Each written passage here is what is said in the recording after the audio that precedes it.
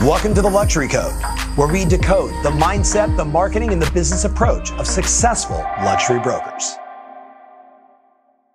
Hey, welcome back to Luxury Code. Today I've got Monica Fabbio, the of the Fab Property Group, a 20 year veteran of luxury real estate in Austin, Texas.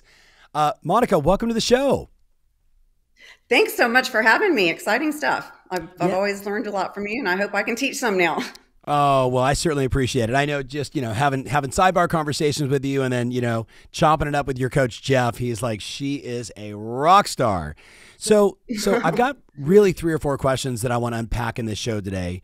Um, let's start with the first one. Like, what does it take, in your opinion, to sell luxury real estate in Austin? And maybe kind of secondarily, like how has the luxury market changed in Austin in the last five years to a decade? The luxury, well, the luxury market in Austin and to be successful, it's extremely competitive. The last time I checked, I think there are about 14,000, probably 15,000 licensed agents. And at one point last year, I think there were about 900 listings. So you can do the math. Right. It's definitely, I would say, the top five, maybe 10% doing the top 90 to 95% of the business.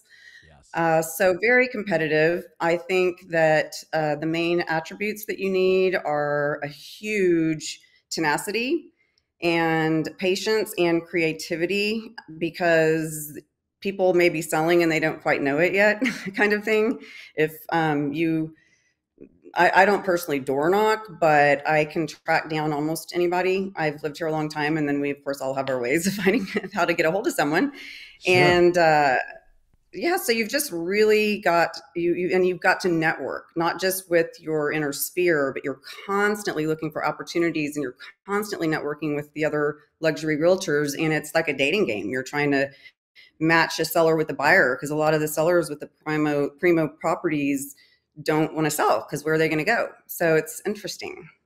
So how do you how do you learn or teach tenacity or perseverance or you know, just the ability to follow through at the level that you and every other top luxury broker has to, because you don't like find a client, take a listing, make a sale on Tuesday. In many cases, it could be 18 months, two years, four years, five years, seven years of nurturing these relationships before they finally do something. So, how do you learn that skill? I personally feel like I was just born with a very competitive um, side to myself and it's really competitive with myself not mm-hmm. as much other people. I've always just been a um, fighter through life and um, have been very scrappy. I've gone from one in- industry to the next and because i'm also a huge uh, learner i am, am, just hungry for knowledge in all different spheres. Um, I just kind of uh, have been like that from day one, whether it was dance or piano or my education, even being a single mom. Um, and I'm just, I'm just scrappy. I may not look it, but I really am. so it's interesting, Monica. I just did a survey of a hundred of our top clients, and the number one attribute that they all came back with was uber competitive it just it was just something about and and some could argue that it was the growth mindset that they're they're more willing to lean in to do whatever it takes but it was that like competitive nature that they had from being a kid to now being in business. Um, but back to this whole tenacity thing i'm, I'm curious um, most mega luxury agents i know have like this insane memory. Like they just seem to remember everybody from seven years ago two years ago the house the meeting is it the same for you, or maybe more specifically, how do you follow up well?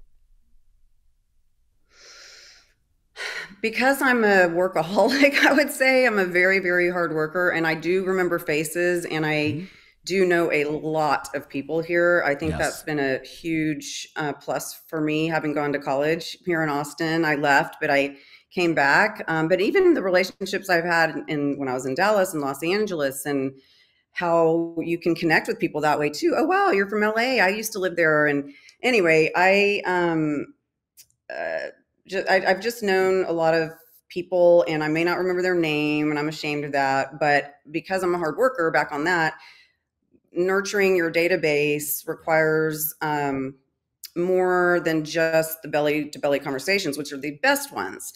but everything's big numbers, big data, and to keep up in this competitive world of real estate we're in, you've just got to set up your systems. You've got to have your follow up. And I try to get all those boxes checked uh, before I go to bed. Oftentimes it's 1.32 in the morning and I'll, you know, get up at 6.30 and start over. And um, I have to tell myself to take a break. But um, yeah, I guess my memory's pretty good, just not with names. And my work ethic then allows me to do more follow up maybe than some others. Yeah, love it, love it. So let's let's flip to uh, most expensive home you've ever sold. Tell, tell, or just tell us about a crazy deal. Oh goodness. Um, well, one is I'm in the middle of right now, and while it is not uh, consummated, I know it's going to happen. Let's let's not uh, jinx it, Monica. yeah, let's not jinx hmm? it. Yes, tell us.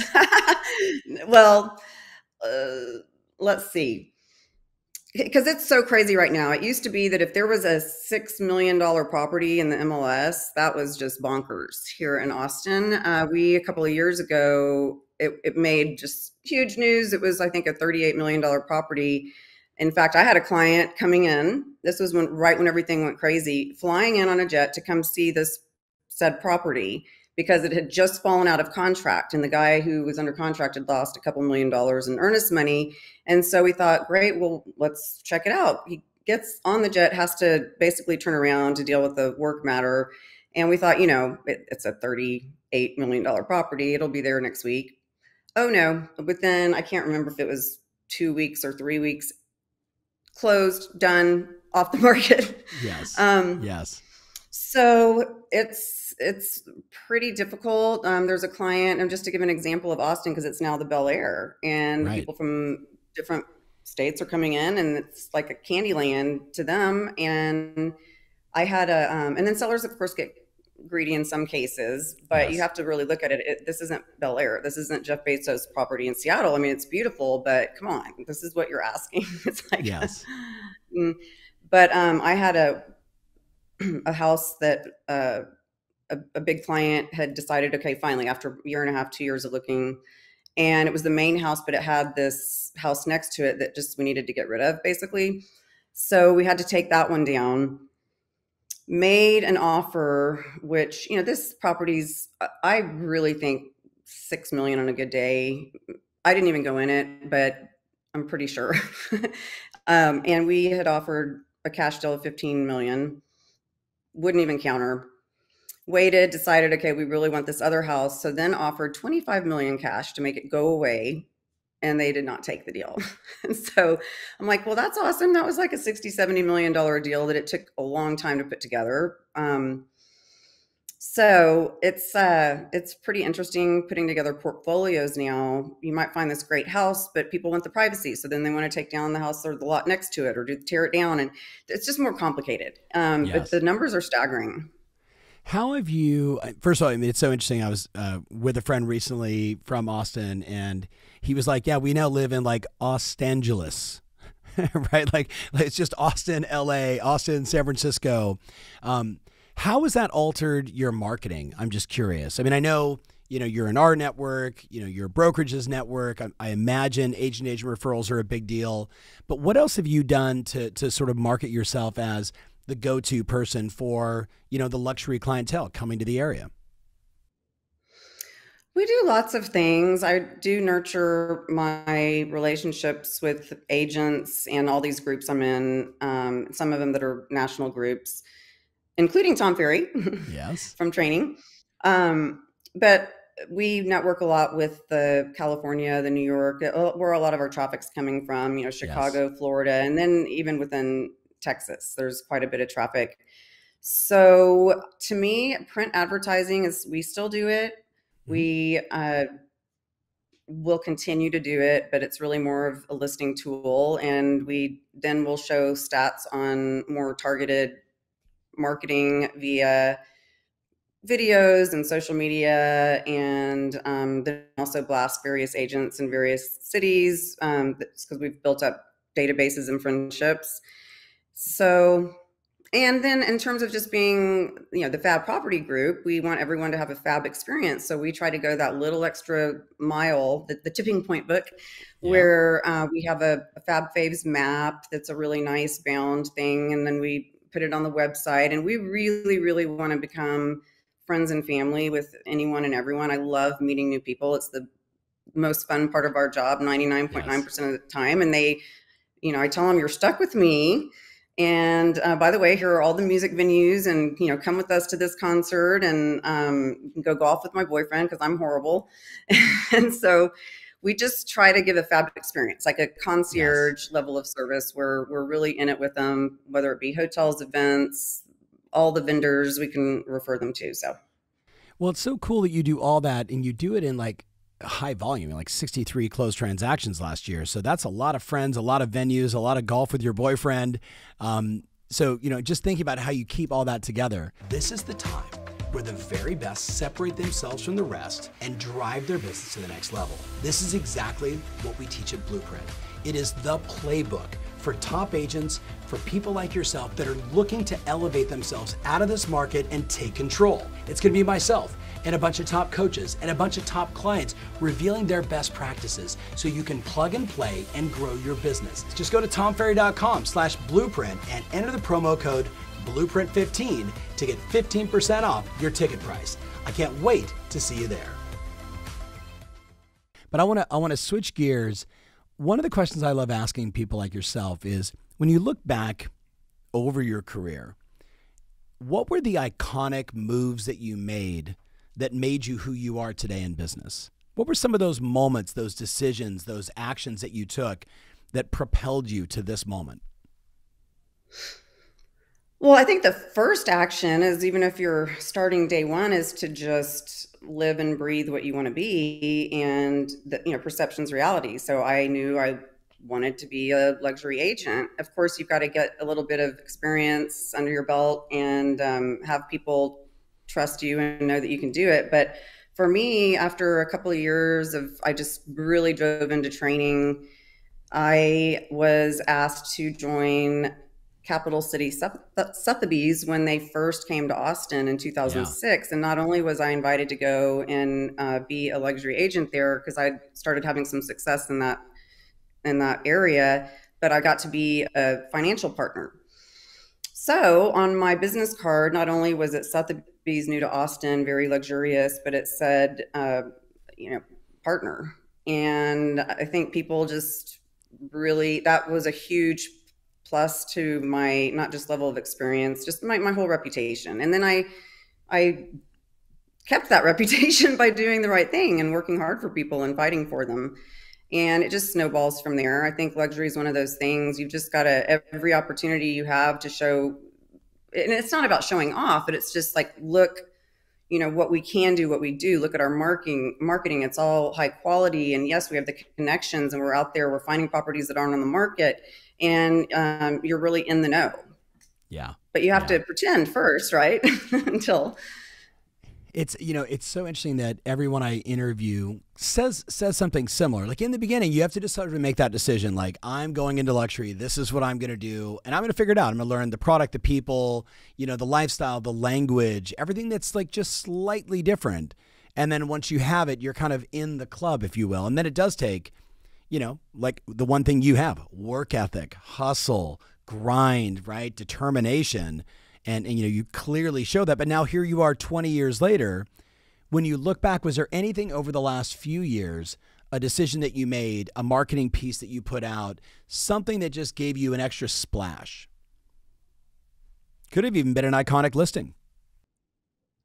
I i think um i think it would be a listing um for me a couple of exact I, I, can't really you're we're all, all, of us are under ndas you know it's, just, yes, it's like yes. oh what can you say what can you not say yeah. anymore let's just say it's a really I big just, house yeah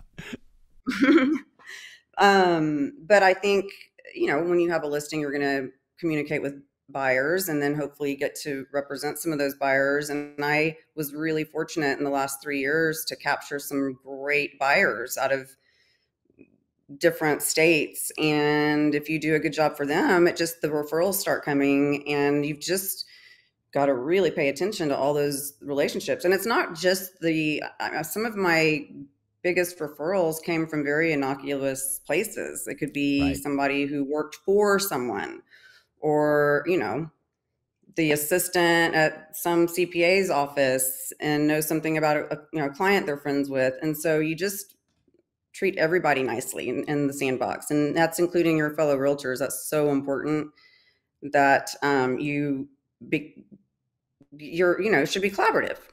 So, right. and right. I know some of us, it seems like it could be competitive. And I'm sure once in a while I have a little streak because I am competitive, but I'm truly competitive against myself. And, yes. and I, you know, I was a one person sports person, even ballet versus tennis. I would have felt like I was disappointing my partner. so right. I compete against myself. I love it. I love it. So last question, what are the biggest challenges you're facing today and how are you overcoming them? Well, there are a couple of challenges. Um, one is I, I, mentioned is the lack of inventory, and how do you get around that? How do you get a seller to sell when you can't find them something on the other side necessarily, or it's not easy to? Yeah. Um, and we've had so many multiple offers. If you're representing buyers, it, it can be you, it can get very you're weary, and they're weary, but the market always comes out as it should. And I think once they're worn out, maybe three offers in, they start to listen to you a little more and right. either change the price point down or spend more money. Um, and I think the other challenge really it's been so fast for so long here. I think all of us who are doing a lot of business, it's just to take care of yourself. Uh, I think there's a lot of burnout right now. I know we're all super fortunate and extremely thankful. You have to make hay while the sun shines. And I, I completely get that. But I just literally for uh, Easter weekend went to the beach. And for the first time, I, I didn't check out completely, but I just really needed it. And um, I came back and I mean, I'm already back in it, but at least I felt a little more creative and, and refreshed and so I think we all have to remember to do that because if you're a workaholic, you just never stop and then you start losing that drive and that creativity. Yeah, I think you can appreciate, um, especially on that last point, as I'm, you know, I get to talk to so many people around the world. And I ask, I always ask one question which one do you need more of, time or deals? I'd be curious for you. Which one, time or deals? Well, that's so tough. Don't say both. I know. I know it's different. I'm like, I'm doing double this year. Um, yes. um, well, I think, you know, I always have to question why are you doing all this? Like, mm-hmm. what's the point if you can't enjoy the fruits of your labor? And yes. um, none of us are promised the next day. So I'm going to Croatia for 16 days in June. Congratulations. Congrat. So it sounds like time is the answer. Even though everybody wants both, if you could only have one, I find that the busiest agents all say, I just want a little more time right? Time to breathe, time to relax, a little self care, a little time with my, you know, boyfriend, girlfriend, husband, wife, yada, yada, yada. Because once you've got the deal machine going, the deal machine's going. Mm-hmm. And I see that clearly yeah, with you. It's true. Yeah. There are a few clients who really just want you, but you try to train them way ahead of time yes. because we all deserve some sort of a life. But I think really we probably think we're a little more vital um, than we may be for deals to happen. And yeah. I've found anytime I have gone on vacation, I'm usually getting on a plane and I get about five referrals. So if you want more business, you go on vacation. And the last time I took a vacation was uh, a long one was last, I went to Costa Rica last summer. I was literally in the rainforest on a bridge tour with maybe yeah. eight people Dallas person looking in Austin in the neighborhood, one of them where I specialize. So in the rainforest on a bridge, I got a referral. And then walking down the path at the resort where we were staying, there was another California. Well, there everybody's moving to Austin, but I'm yeah. thinking you can still do deals when you're on a bridge in Costa Rica. That's it. It isn't. It's funny. Like I mean, as a veteran, you know, like the old, like in the old days when listings didn't sell in 14 seconds or 14 days. The old joke was, if you have a bunch of stale listings, what should you do? Book first class tickets, non refundable, get a hotel room, get on the plane. And the second you do, offers start coming in, right? It's instantaneous. Love yeah, it. so June will be my best month. right, I know. I'm excited for you. So doubling your business this year, lots of good stuff covered on this uh, on this session, Monica. So if somebody wanted to reach out and they wanted to find you, what's the best way? Is it on Instagram? Is it you know via email? Go to your website. If somebody's got more questions about Austin and they just want to chat with you about high end real estate, how do they reach you? well, the uh, Monica at thefabpropertygroup.com. Our Instagram handle is the same at thefabpropertygroup.com. And surprise, the website is The Fab. yes. thefabpropertygroup.com. love it. Love it. Good branding. All right. Well, Monica, thank you so much for your time today. And for everybody out there watching and listening, make sure you follow her. And if you got questions, you can ping her there. You can certainly leave it in the comments here. Um, as always, we appreciate you and all that you do. I'll look forward to seeing you at an event soon. I'll say hi to Jeff, your super coach, coming up. Big shout out to Jeff Mays. Monica, thank you so much for being on the show. Thank you so much. We'll hopefully see you in Anaheim for a All day right. anyway. Yeah. All right. I'll see you soon. Take care.